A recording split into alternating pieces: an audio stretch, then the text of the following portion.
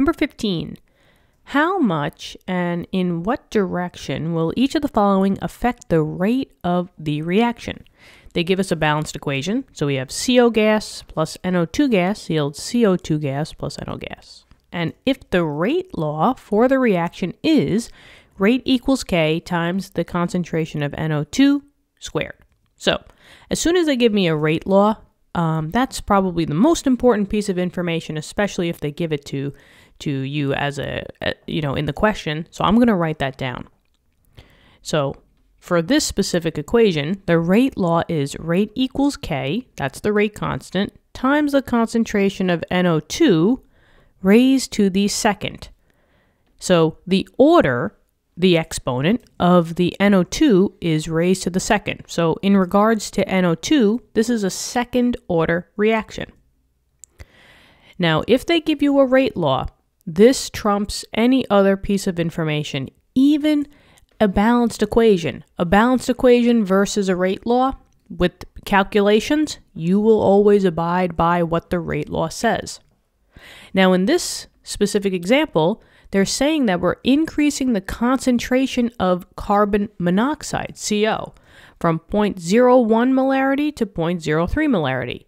What's going to happen to that rate if we increase the carbon monoxide concentration? Well, I do see carbon monoxide in the balanced equation, but if I'm looking at the rate law, do I see CO anywhere in this rate law?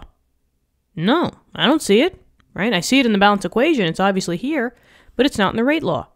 Remember, the rate law is much more important than your balanced equation in order to get a rate law, you have to do trials and experiments. And sometimes, like in this case, the rate law doesn't have to necessarily be the same as the balance equation, and that's okay. And sometimes they'll give that to you because they want to make sure that you know how to use your rate laws.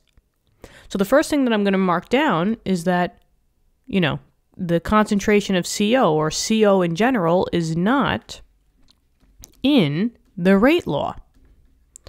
And the rate law says that if you want to change that concentration or if you want to change that rate of reaction, you're either going to have to change the rate constant or the concentration of the NO2, right? The brackets means concentration. But I can't change the rate of reaction with the CO because the CO is not in the rate law. So if it is not in the rate law, that means that the rate is unaffected. Unaffected. Okay, so if a rate is unaffected, right, does that mean that the rate is going to change? No, unaffected. Unaffected means no change. So anytime that they're changing you know, concentrations of reactants that are not in the rate law, I don't care. No change. So, rate will not change. And that is the answer for this one. Uh, so, how much will the rate change? It won't change at all. So, that's it. I hope this helped. Thank you for viewing the video. Subscribe to the channel if you want to help us out. My brother and I, we thank you so very much. And you guys rock. Thank you for making the channel what it is and for watching the videos and learning from these. Um, good luck on your tests and quizzes.